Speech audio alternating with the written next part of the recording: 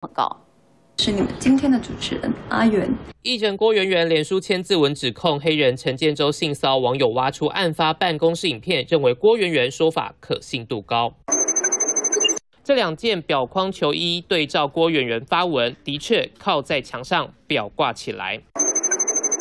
这张办公椅位置的确也是在一个转身就能到的地方。郭圆圆精准说出办公室摆设。二零一四年，两人因为公益活动认识，陈建州之后主持《我爱黑社会》爆红，前黑社会美眉妖娇发出黑底现实动态，说对方没有伸出狼爪，所以妖娇没被侵犯。但的确那时候当下第六感告诉他不对劲。诗雅也发文说善恶终有报，其他像是田儿、丫头、小蛮、小薰、鬼鬼等等，听闻后没有特别表态，但没人帮陈建州说话。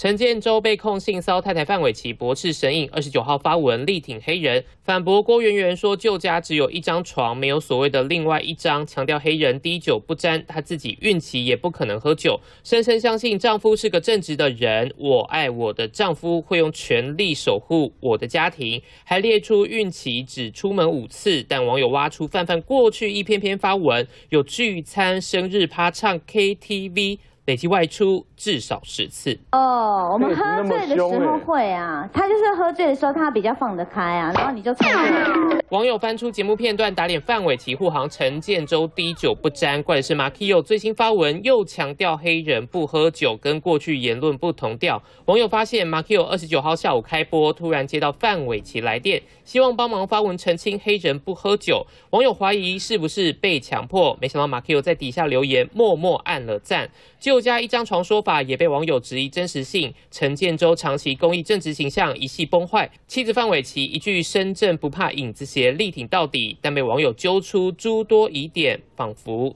提油救火。三新闻综合报道。